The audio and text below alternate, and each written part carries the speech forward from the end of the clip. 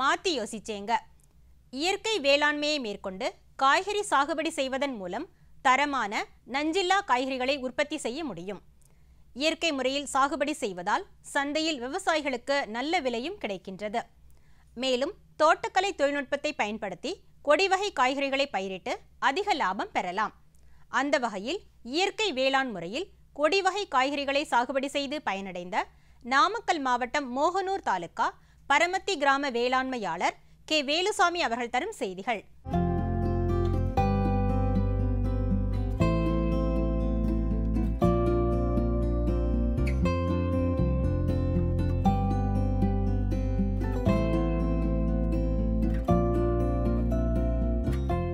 கடந்த பத்து ஆண்டுகளாக நாங்கள் காய்கறி விவசாயம் செய்து வருகிறோம். முதலில் நாங்கள் பந்தல் கூடார பந்தல் அமைத்து காய்கறிகளை பயிர் செய்து வந்தோம். பின்பு அரசு மானிய உதவியுடன் நாங்கள் நில இப்போ நிரந்தர பந்தல் அமைத்து தற்பொழுது கடந்த ஐந்தாண்டு ஆண்டு ஆண்டுகளமாக நாங்கள் வந்து இயற்கை விவசாயத்தோடு சேர்ந்த பந்தல் விவசாயம் செய்து கொண்டிருக்கிறோம். இந்த இயற்கை விவசாயத்தை முதன் முதல் ஆரம்பிக்கின்ற பொழுது நாம் நிலத்தை சரியாக தயார் செய்து கொள்ள வேண்டும். அதற்காக முதன் முதலாக நாங்கள் நிலத்திலே பலதானி விதைப்பு விதைத்து அதற்கு பின்னால் இந்த பந்தல் அமைப்பை செய்திருக்கிறோம்.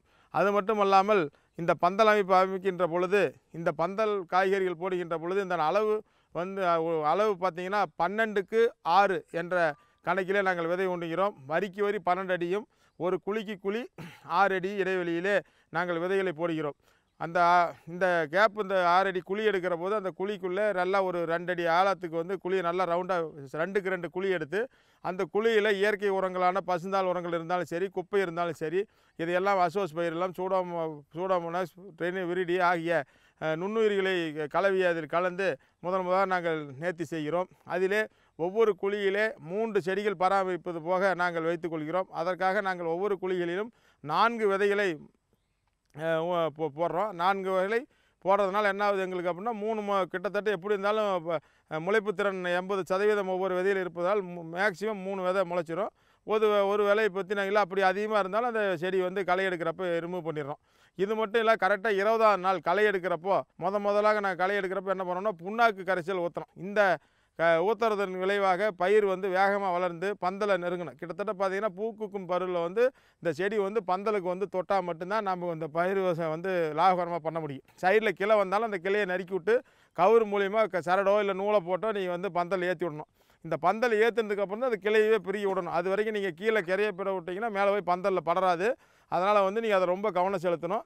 இதுக்குள்ளே இந்த பூச்சி வந்து மே மேலே ஏறதுக்குள்ளே உங்களுக்கு பூச்சி பாதுகாப்புக்கு நீங்கள் வந்து த்ரீ ஜி கரைச்சல்னு சொல்லப்படுகின்ற இஞ்சி பூஞ்சி இஞ்சி பூண்டு பச்சை மிளகா கரைச்சலை நீங்கள் வந்து பயன்படுத்தினீங்கன்னா இந்த பூச்சி தாக்குதலேருந்து உங்களை வந்து காப்பாற்றிக்கலாம் அதே மாதிரி பார்த்தீங்கன்னா அந்த பூச்சி வந்து அதுக்கு மேலேயும் அதிகமான பூச்சி தாக்குதல் இருந்தது அப்படின்னா நீங்கள் வந்து அடுத்த பூச்சி விரட்டிகளான அக்னி அஸ்திரமோ இதை ஏதோ ஒன்று பயன்படுத்தலாம். அந்த அளவுக்கு வந்து கொடிவேரி காய்களில் அவ்வளோ தொந்தரவு வரதில்லை இது வரைக்கும் நாங்கள் வந்து அவ்வளோ ப- அடிக்கிற அளவுக்கு எங்களுக்கு தொந்தரவு வரல.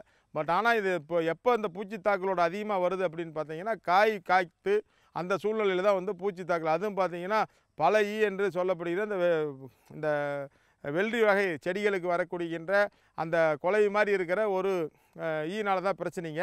அதை வந்து பல ஈங்கிறாங்க. இது வந்து அந்த பல தான் வந்து ஒவ்வொரு காயிலையும் ஓட்டை போட்டு கிட்டத்தட்ட எண்பது சதவீத எண்பத்து எண்பதுலேருந்து எண்பத்தஞ்சு சதவீத உற்பத்தி இழப்பை ஏற்படுத்தும்.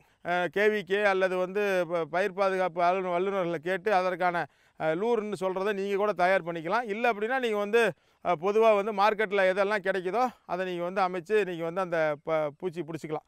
அந்த கொலை மட்டும்தான் இதில் இருக்கிற ஒரு மிகப்பெரிய பிரச்சனை.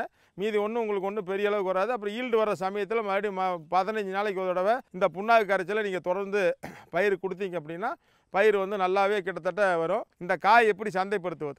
இந்த காயை சந்தைப்படுத்துறதுக்கான எளிமையான முறை என்ன பார்த்தீங்கன்னா நம்மளுக்கு கவர்மெண்ட் அரசு இயந்திரம் வந்து நம்ம உழவர் சந்தையில் அந்தந்த மாவட்டத்தில் நிறைய இடத்துல பண்ணி கொடுத்துருக்காங்க. நாங்கள் வந்து நேரடி உழவர் சந்தையில் நேரடியாகத்தான் எங்களோட விளைபொருட்களை விற்கிறோம் அதன் முடிய வந்து எங்களுக்கு மிகப்பெரிய லாபம் அடைகிறோம். இது மட்டும் இல்லாமல் நாங்கள் வந்து இந்த த- எங்கள் எங்கள் தோட்டம் வந்து ஆமாம் தமிழ்நாடு அரசின் அங்கக சான்றிழப்பு துறையின் மூலம் நாங்கள் வந்து அங்க அங்கக விவசாய சான்றிதழ் வாங்கியிருக்கிறோம். இது வந்து இந்த வருஷம் முத முத நாங்கள் வாங்கியிருக்கிறோம். இன்னும் இரண்டு ஆண்டுகளுக்கு தொடர்ந்து நாங்கள் இந்த விவசாய முறையை பயன்படுத்தினா எங்களுக்கு வந்து நிரந்தர நிதி கொடுத்துருவாங்க. அதனால் வந்து ஒவ்வொரு விவசாயியும் இயற்கை விவசாயம் பண்ணுற விவசாயிகள் அங்கப்பு சான்றிதழ் துறை முறை பின்பற்றி அதற்கான சான்றிதழை பெற்றுக்கிட்டிங்கன்னா இன்னும் சந்தை வாய்ப்பு உங்களுக்கு பிரகாசமாக இருக்கும்.